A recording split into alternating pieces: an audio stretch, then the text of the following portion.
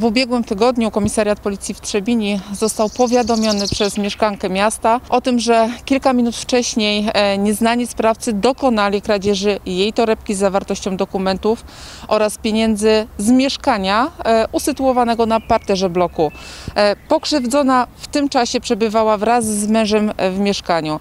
Sprawcy wykorzystali fakt, że drzwi mieszkania były otwarte, weszli do środka i zebrali torebkę pozostawioną w przedpokoju. W rejon zdarzenia dyżurny e, natychmiast wysłał patrole. W wyniku podjętych czynności zatrzymano 21-letnią kobietę oraz 24-letniego mężczyznę, bezrobotnych mieszkańców Katowic e, narodowości romskiej, którzy mogli mieć związek z przestępstwem. Po doprowadzeniu zatrzymanych do komisariatu w Trzebini ustalono, że tego samego dnia w Chrzanowie w taki sam sposób doszło do takiej samej kradzieży. Jedna z mieszkanek Chrzanowa straciła torebkę e, z mieszkania. W tym przypadku sprawcy, ta, sprawcy także wykorzystali niezamknięty zamek e, w drzwiach mieszkania.